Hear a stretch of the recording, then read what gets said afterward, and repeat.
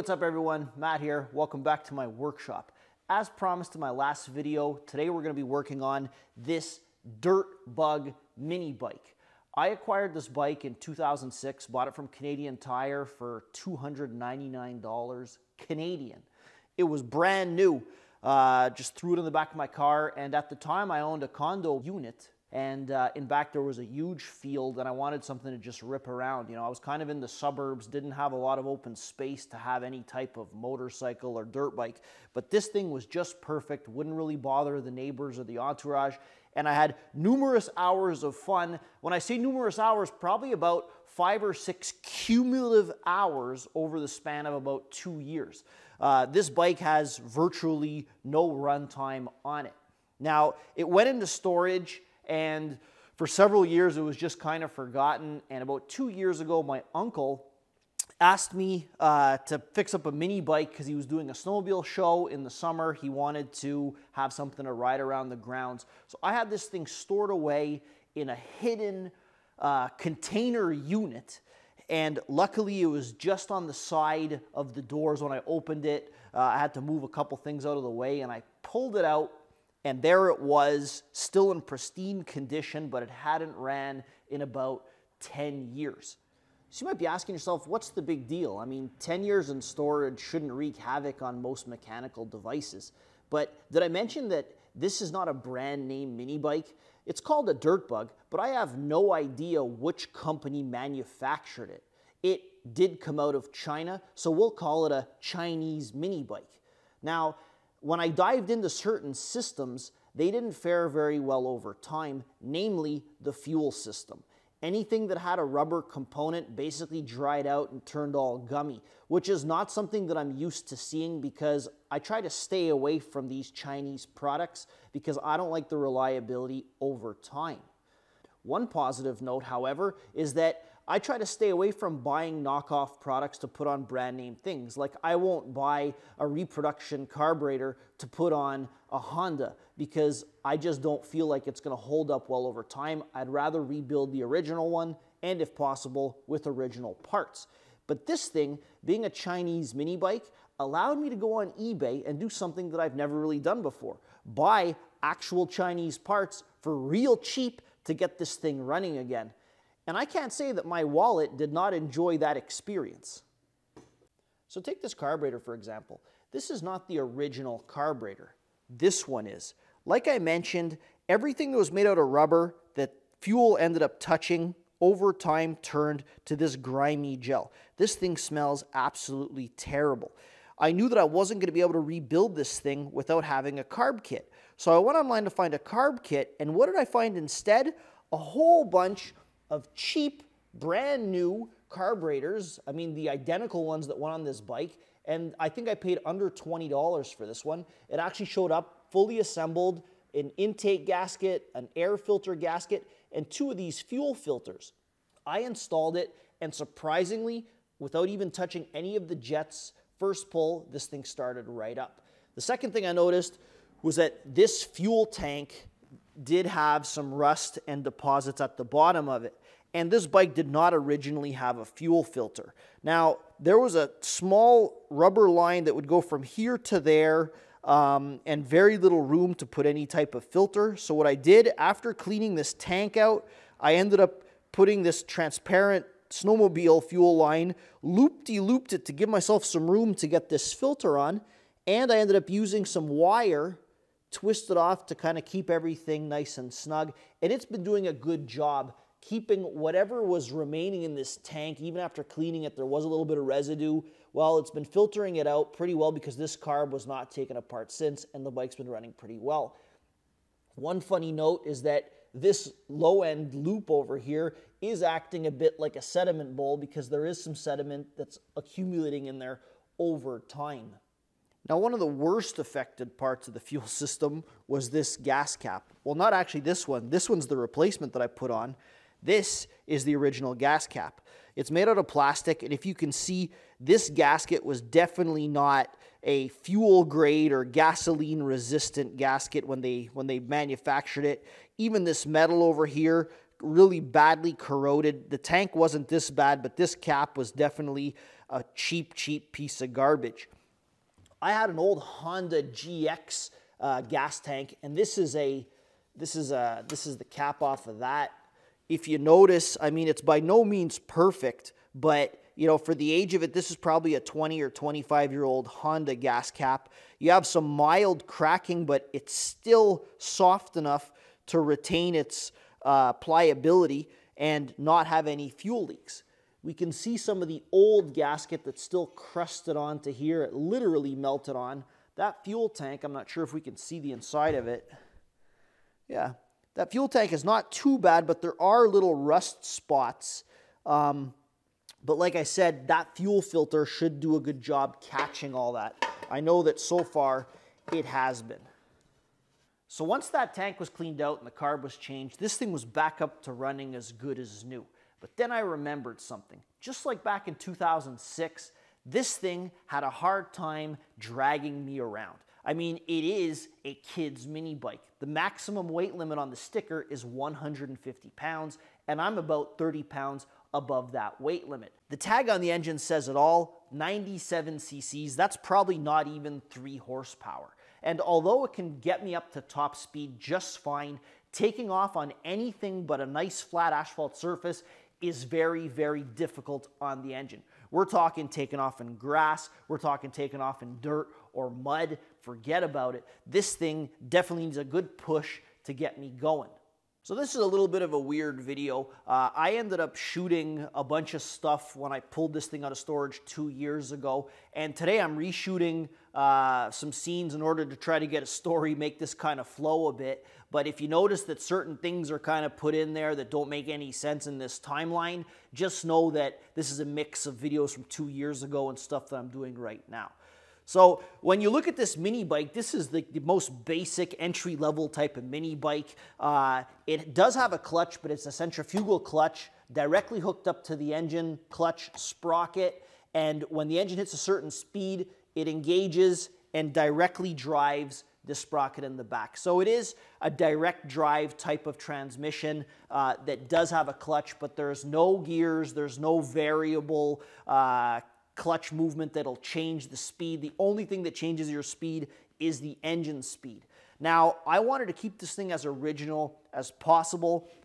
One thing I could do to get more power in order to drive me around a little easier would be to change the engine. Uh, and that's probably one of the most easiest things to do that'll give you better top speed, better torque, better everything get a five horsepower, get a six and a half horsepower. Now they're going with CC's, a 212 CC uh, engine or whatever they call them now. I'm used to horsepower stuff, but anyways, put that on, get it done with, and you'll have a much better mini bike, at least for an adult. I didn't want to do that. I didn't want to put a different type of clutch. I want to keep this thing as stock as possible. So what I decided to go with was change the rear sprocket in order to get more torque. And automatically in a system like this, by changing the ratio to get more torque, you have to sacrifice top speed. But in my case, I figured something out that made it that I didn't have to sacrifice anything. Let me explain that to you. So if you want to know how I'm able to get more torque out of this bike without sacrificing top speed, we have to understand first how this carburetor works. When I twist the twist throttle on it, you can see this linkage activating the carb's uh, butterfly valve. And this linkage up here is basically an extension arm off the governor. Let me show you. We have the governor over here, which is basically a shaft coming out of the motor. And there's a mechanism in there that as the motor hits a certain speed, in our case, uh, technically it'd be 3,600 RPM, it would end up pulling the throttle back. So even if I give it full throttle, this is full throttle, this governor can still come and pull that throttle lever back. So this is me activating the throttle with the twist grip, and then this is the governor pulling it back momentarily, slowing down the engine. Once it reaches a speed below the 3600, it'll allow it to open back up, and it does that repeatedly. That's basically how it governs the top speed of this motor we see we have the twist throttle cable coming down over here. And again, when I give it full throttle, it pulls this lever back activating by a spring this, um, this governor linkage and giving it its full throttle. Now, if you want to increase or decrease this top speed of the bike, there's an adjustment screw back here, right over here, that this basically butts up against. So if you want to go any faster, you can unscrew with the screwdriver here, a Phillips head. We unscrew it, and if you notice, I'll go full throttle, and here we're going further and further back, allowing, so here's the maximum, so it won't go any further than this, but this would allow it to go as fast as this motor can turn. That's what it would allow it to do. Now, when this bike was brand new out of the box, it wasn't adjusted to full throttle, and I don't want it to be adjusted to full throttle. I'd like to keep this motor for a long time, and I determined it was probably cutting out around 25 or 2800 RPM, and we can uh, validate that mathematically. So in order to figure out how fast the engine is spinning at a given speed, we first have to find out how fast the rear wheel of the mini bike is spinning. In order to solve for the rear wheel's RPM, we have to know the diameter and we have to know the speed at which the bike is moving. The diameter is easy. You take a tape measure and you measure the overall height of the wheel. In our case, 14.3 inches. In order to measure the speed that the wheel is moving forward, I ended up downloading an app and putting it on the bike, running it at full speed, and I ended up finding out that it was running 16 miles per hour, as you can see here.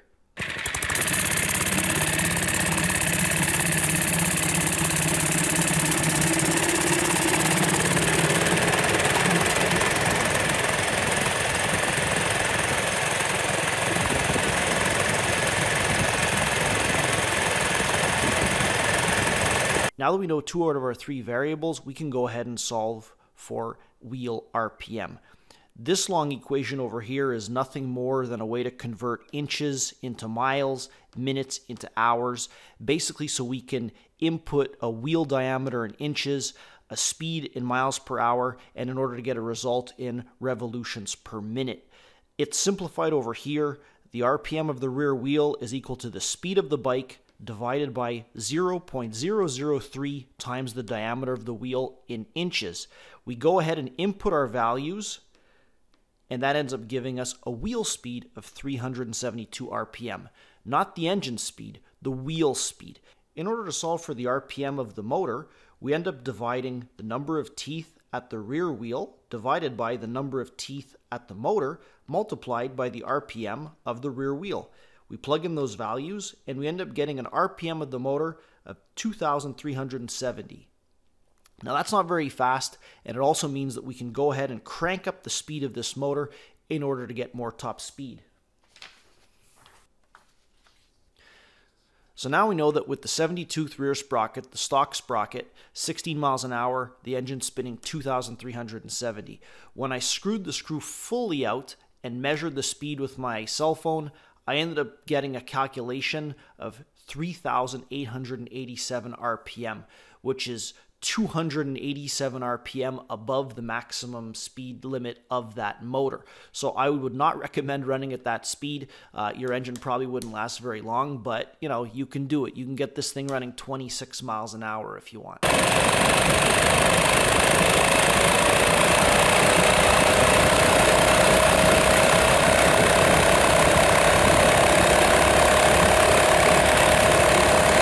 So basically that's the trick. Um, if you were to buy one of these bikes and right out of the box you want it to go faster, you could make sure that this screw is completely uh, unscrewed to the point where uh, it doesn't affect the travel of this linkage.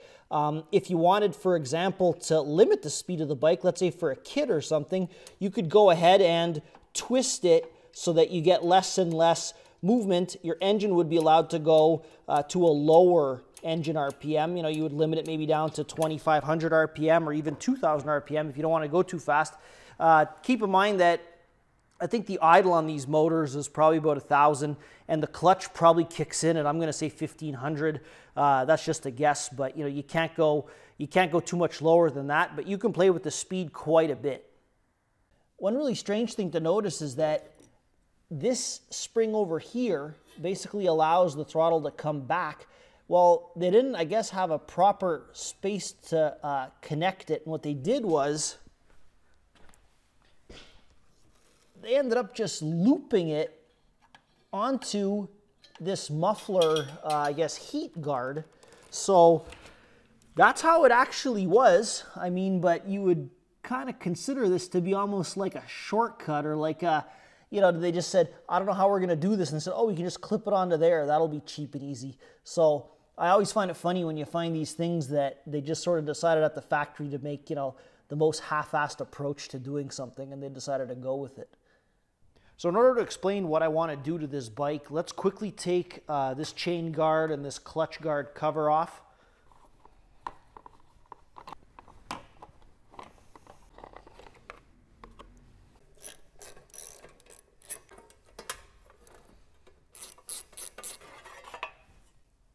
So here we have the clutch section, um, centrifugal clutch directly hooked up to the motor. There's no speeds, it really just spins the speed that the engine is spinning once it's engaged. This is an 11 tooth sprocket. It drives this rear 70 tooth sprocket and it has this tensioner that keeps the chain tensioned up even though right now it's not. I'll show you guys how to adjust that. Um, but what I want to do today is uh, remove this 70 tooth sprocket and go ahead and put a larger sprocket. Now, let's check and see. I know we don't like math, but we'll do a little bit of math. I'll check and see what it's going to take to get a little bit more power, considering that I can't go too much larger because this is only a 14 uh, or 14 and a half inch diameter tire. So we can go a little bit bigger. I assume we can probably go about half an inch uh, larger on the radius, one total inch bigger in diameter, and we'll see what that gives us in terms of torque increase. So we're back to this page over here. I added some more data for the 80 tooth rear sprocket. We use the same calculations as before, 16 miles per hour. Now the engine has to spin 2,733. That's no problem. That's well below the 3,600 RPM limit. If we were to run it at 3,600, we would theoretically be able to get 21 miles an hour.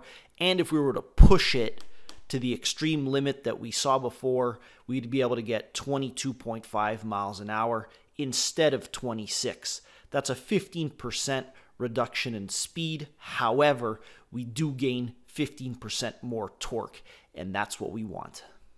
So as we've seen, by putting an 80 tooth sprocket, we can go ahead and gain almost 15% uh, more torque.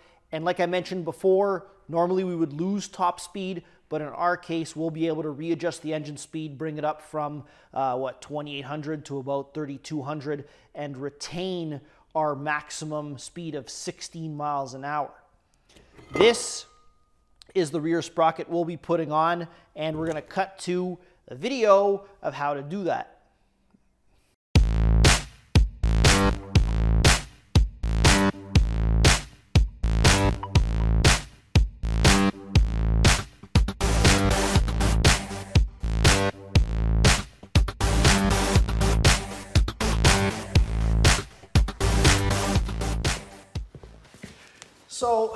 I would ride this thing, and even when it was brand new, it would kind of howl, howl along. And I'm noticing that this bearing is uh, kind of not very good.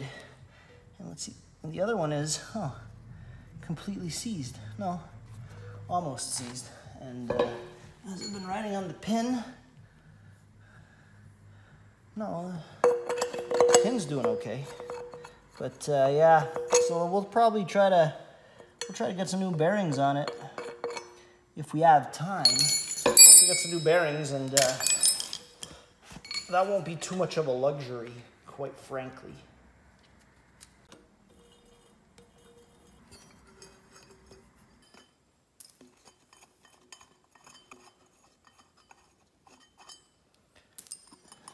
Just come right out. So here is the sprocket.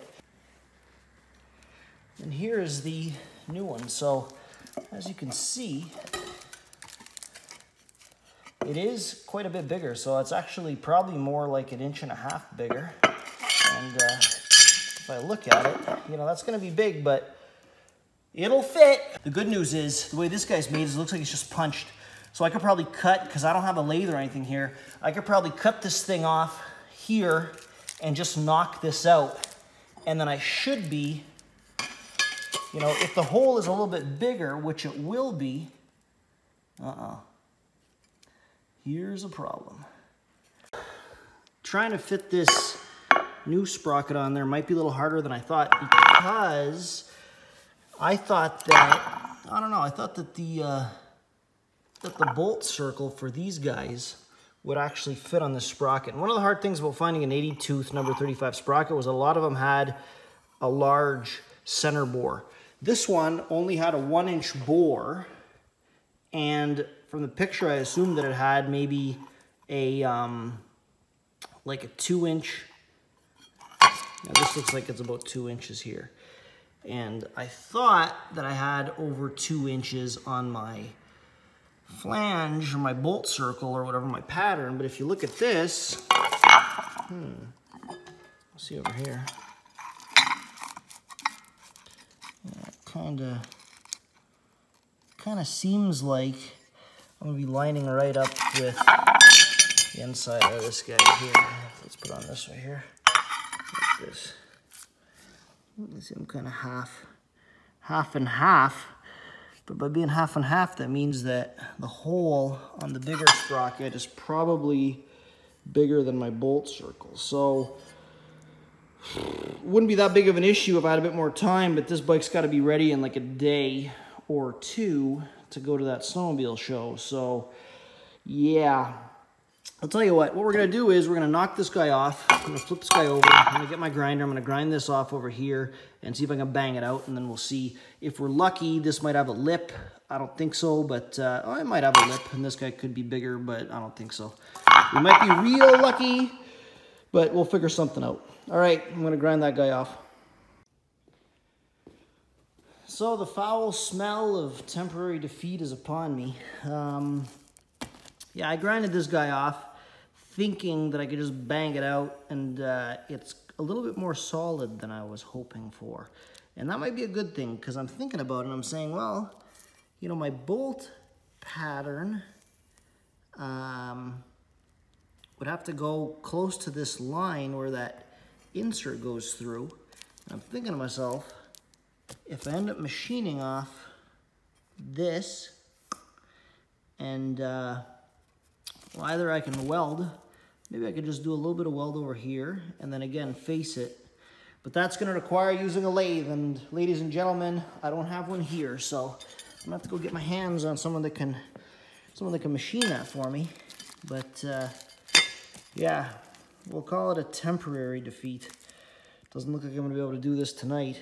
Um, but yeah, we'll, we'll get that done and uh, we'll check back in because I mean it should be a straightforward job. I mean as soon as I got the right hole on it and I drill some holes, that should be done. So uh, we'll call it a night for today and uh, I'll tune back in once I have this sprocket sorted out.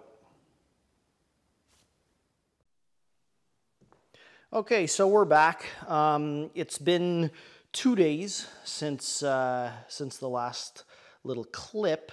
And uh, yeah, the project came to a to a staggering halt when I found out that the uh, the sprocket that I ordered uh, was not going to be as easy as I thought to uh, to get on this bike. But uh, luckily, uh, I was able to go see one of my buddies that had a lathe. I was hoping I could get away with not having to use a lathe. But yeah, so the original sprocket, as you recall, had a hub on it, one inch bore, and I initially thought that this sprocket was going to be uh, a 50 millimeter um, bore in the center, and then the bolt circle was at 60. Turns out it's actually like a 37 uh, millimeter um, bore, and I think the bolt circle is like at 50. So that ended up coming right into the uh, right into the hub of the sprocket. So we had to face that off and uh, drill new holes. So that's done, painted, ready to go. So I'm happy about that. I also picked up some uh, bearings 6201 uh, bearings and I, uh, I got this rod ready that I'm going to use to, to try to persuade the bearings into the, uh, into the hub because as you recall maybe from sitting for so long because I mean this bike only has probably about you know four or five kilometers of wear on it I mean I really didn't use it that much but uh, yeah these bearings are, are, are completely are completely shot and they might be, we're gonna take that seal off and check and see if there's any uh, corrosion in it. But uh, anyway, so should be pretty easy from now forward, uh, going forward. So uh, that's it, let's get back to work. Okay, so I got the wheel set up in a little vise that's sitting on the ground and uh, I cut this piece of, uh, of shaft. Uh, now, when you have two bearings that are pressed in on either end, um, you kind of, I mean, if you have a puller, you can get in there and just yank it out. That's the best, but uh, I don't have one of those. So I just use this method here. Knock on it a bit and get the first one out. There we go. So, oh, it looks like it had a sleeve inside there. So yeah, there's a sleeve in there. Great. So this bearing's out. Like I said, it's a 6201 uh, Chinese bearing. And uh, I ended up buying brand name SKF bearings instead because I kind of, I don't know, I kind of didn't feel like putting a Chinese bearing on it for no specific reason. So that's good. So we got the first one out and the next one we should be able to just kind of bang it out a little easier. I'm gonna set this guy up a little better and we'll bang the second one out. All right, so we got that tire right down onto the floor and uh, because there's some, uh, there's a little bit of height caused by these Allen uh, head bolts, we should be able to get it out that way. Same technique, folks. Same gentle persuasion. And are we out? Almost. Should we get that out like this? Just like this. And that's it. All right, so we'll get these oil seals off here. We'll check and see. Yeah, so there's a little bit of rust, just a little bit. I think that's probably from sitting. I mean, because there's still there's still grease in them you know, they're not as bad as when they were in. Maybe just by moving them around a bit or see this one here. One of them was seem like it was worse. Hmm, nice and greasy. They're not as bad, but they, they seem to go on, they seem to spin rough. Yeah. Anyways, we're going to put some new bearings on it. That's not going to be too much of a luxury. We can handle it. We can handle it. So in order to get these, uh, these new bearings on, because I don't have a press here right now, uh, and I don't like banging in bearings if I don't absolutely have to. Uh, what I did was I cut this piece of threaded rod, and uh, I got some nice big heavy duty washers that uh, basically fit on well onto the well onto the threaded rod, and then the bearings. Look at this over here they come up nice and tight and look at that. Presses on the outer uh, race of the bearing and it's going to glide it right in. We'll get both of them in at the same time. How does that sound? So we'll just put that on like this and we'll do the same thing. We'll, let's not forget our, our trusty spacer and then get another bearing on there and this. And as long as I line them up, and you know what, let's do the other person who's going to take this apart for me a favor and get the numbers on the outside so that they know what side. So we're good on both sides, okay. And we'll put some washers on this one too. And we'll get a nut on there. And as long as they're lined up, properly lined up to start with. So if you look at that, properly lined up, I'm going to make sure that you guys are seeing this properly. I can't really see what I'm doing here, but look at that. So nice and lined up there nice and lined up over here. And now basically all we have to do is um, tighten, tighten those nuts and if everything works according to my plan, it should press those bearings. Oh yeah, look at that. Look at that go. You got to see this. This is a this is a satisfying. This is one of the most satisfying parts of my job right here. Guiding a guiding a bearing into its into its new home. Look at that going in all nice. There we go. And it should butt up once those washers hit the, uh, how's the other one going in? You see that? once the washers butt up against the, uh, the flange, you know that you're all the way in. Nice and tight there. Mm, there we go. Take that off and look at that. We didn't put any damaging force on those bearings. They're nicely seated. see how that feels. Perfect, perfect. Good. All right, so before we do the uh, the front bearings, we're gonna we'll finish up the rear. Um, yeah, let's get this guy on. So sprocket, as you can see, fits perfectly in, and uh, yeah, we'll just get these little Allen screws back on there.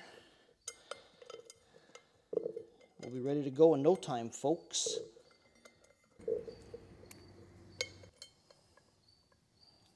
Last one.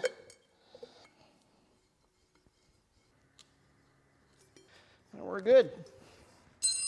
That's it, folks. From a 70 to an 80 tooth sprocket. All right, let's get this wheel back on.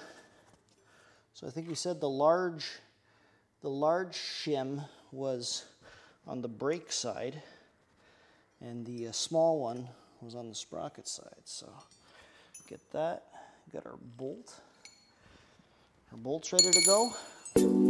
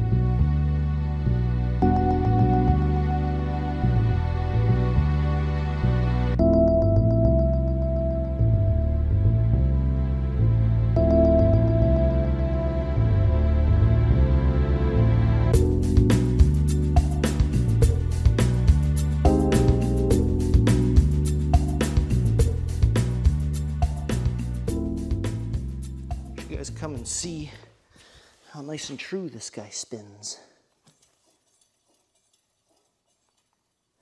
Looks pretty good. And that's it. So new bearings, new sprocket. How's the clearance on it? Just gotta make sure that tire stays inflated. Kind of hard to see with the black on black, but uh, like I said, let's just make sure that that tire stays inflated. So because we increase the size of our rear sprocket, we require a longer chain. Um, instead of putting two links on the original one and having a piece of old and a piece of new, I decided to splurge, you know, the, the $20 or whatever it costs to get a new chain.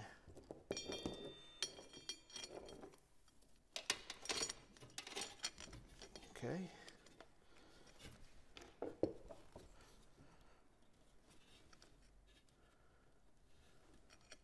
Come on. There we go. Perfect. You guys remember what direction to put the um, link pin or snap uh, snap thing? Always have it in the direction with the opening pointing away from the direction that your chain is turning. That way, if ever it was to snag on something, if it was this way and it was to snag on a twig or something, bing, it could pop it out. We're going to err on the side of safety and get this guy on the proper way. There we go. Perfect. So with the chain now on, um, even at full tension, um, I still find this a little bit loose and with the uh, additional stretch that's most probably going to occur. I'm not going to have any more adjustment. So we're to have to move this engine. We're to touch these, uh, these four bolts underneath and we're to move the engine forward, have the tensioner at the minimum setting and have an adequate tension at that point. point and that, that way I'll have my full tension stroke uh, for future requirements. Let's get that engine forward.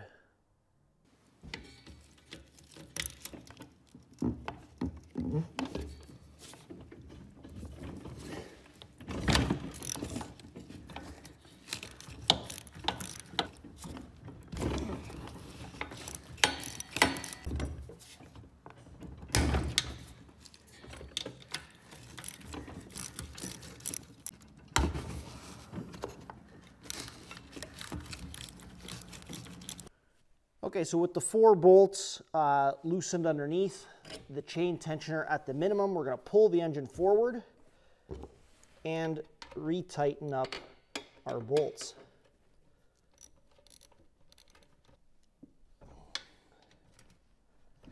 We don't wanna go too tight um, on these bolts because they're very small. I think they're, the socket is a 10 millimeter, so that's why I'm only using this quarter inch drive ratchet just so I can get a bit of wrist action on it. And now we can see that by moving the tensioner forward slightly, you know, we barely have any more adjustment back. That chain is nice and tight.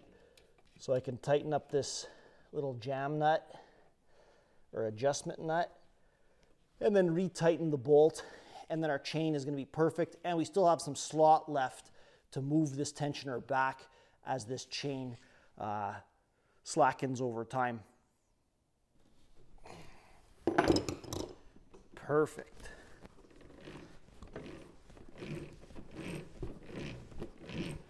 Let's go get some gas in it and take it out for a little spin.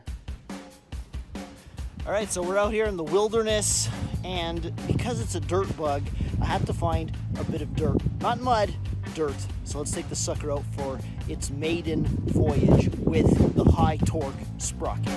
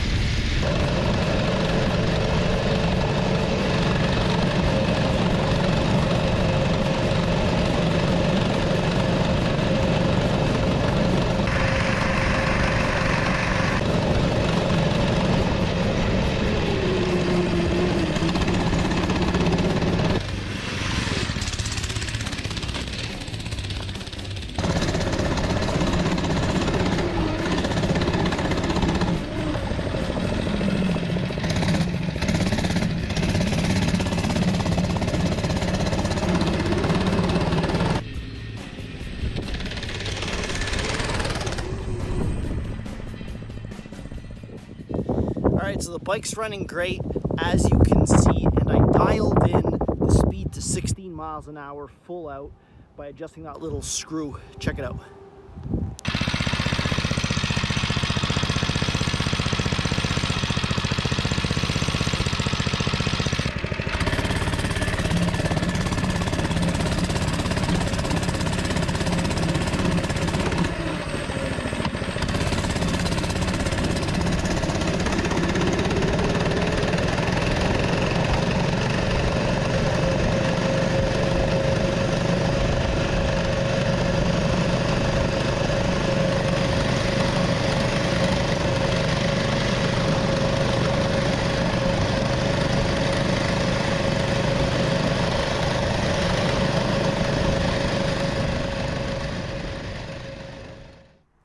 There you have it, folks. A whole lot of work for not a whole lot of gain, but we had fun. This is the Dirt Bug mini bike. Hope you enjoyed this. Stay tuned for the next one. Signing out.